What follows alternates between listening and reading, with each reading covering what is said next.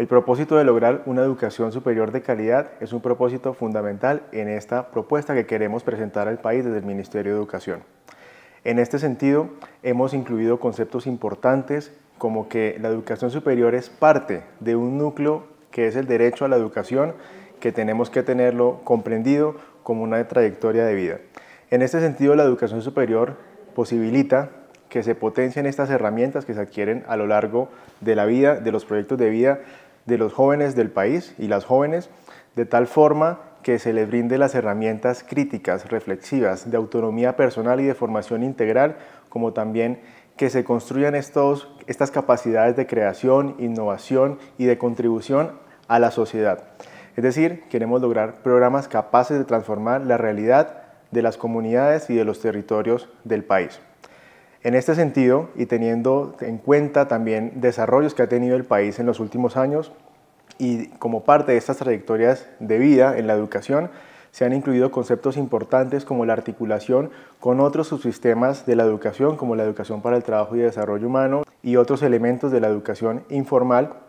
de tal forma que potenciemos el uso del Sistema Nacional de Cualificaciones y el Marco Nacional de Cualificaciones con el reconocimiento de saberes y aprendizajes previos que se puedan integrar a la educación superior.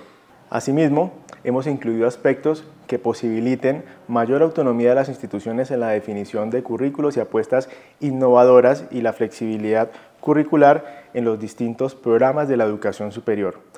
Es así como queremos habilitar a través de esta reforma legal que se puedan realizar ajustes al sistema de aseguramiento, como se ha mencionado ya, eh, en aspectos fundamentales que permitan fomentar la autorregulación y la autonomía de las instituciones, de tal forma que se permitan nuevas posibilidades y flexibilidades en las rutas de aprendizaje y de formación de los currículos y los programas de educación superior. Otro punto importante frente a la visión de construcción colectiva de calidad como un estado ideal al que debemos propender en el sistema de educación superior es la cooperación entre instituciones y aspectos que promuevan elementos del aseguramiento de la calidad no solo desde el punto de vista de los trámites que se surten de manera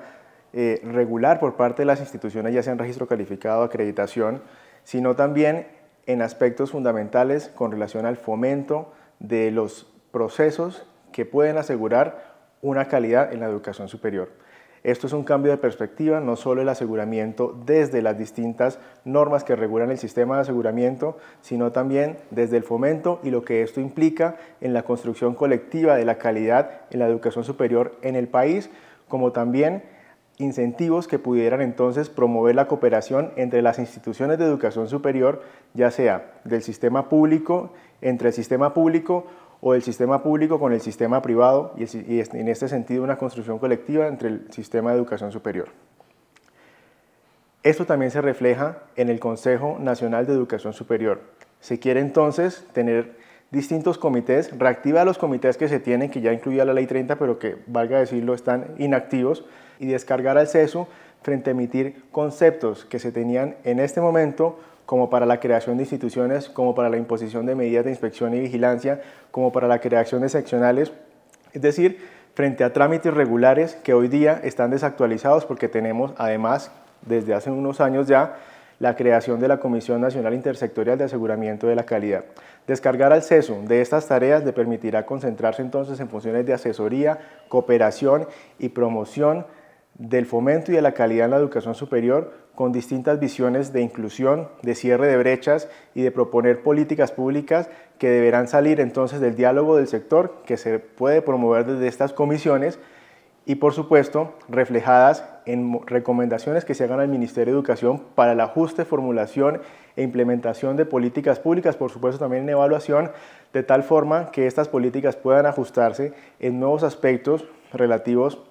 a la inclusión, al cierre de brechas territoriales, a la cooperación en torno a la calidad, como también frente a aspectos tradicionales que tenemos que fortalecer, como la internacionalización de la educación superior y la innovación en asuntos relativos a la calidad y pertinencia, como también lo podría pensarse en algún momento la relevancia de algunos programas en educación superior. Finalmente, quisiera entonces, a través de esta propuesta, abrirse la discusión para poder aportar desde los distintos actores que componen elementos fundamentales para el aseguramiento de la calidad, conseguir aquellos propuestas de ajuste que nos permitan entonces construir colectivamente una visión que habilite a las instituciones de educación superior a ofrecer unos programas académicos que sean más flexibles, conectados con la realidad del país, pero también conectados con el entorno global en el que estamos y el entorno regional en el que nos, desenvolvemos en América Latina. Es así entonces cómo estaremos atentos a recibir las contribuciones que se tengan desde el sistema de educación superior, de tal forma que podamos presentar una propuesta consensuada frente a lo que queremos en la visión de la educación superior como una educación de calidad y pertinente que brinde alternativas a la juventud del país, al desarrollo del país y al cierre de brechas regionales y a la solución de las necesidades a través de la promoción científica y conectada con esta realidad nacional. Colombia, potencia de la vida.